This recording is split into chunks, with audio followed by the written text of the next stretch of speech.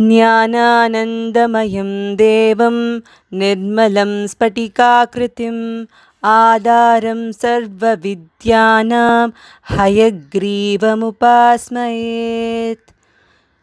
ज्ञानानन्दमयं देवं निर्मलं स्फटिकाकृतिम् आधारं सर्वविद्यानां श्रीहयग्रीवमुपास्मयेत् ज्ञानानन्दमयं देवं निर्मलं स्फटिकाकृतिम् आधारं सर्वविद्यानां श्रीहयग्रीवमुपास्मयेत्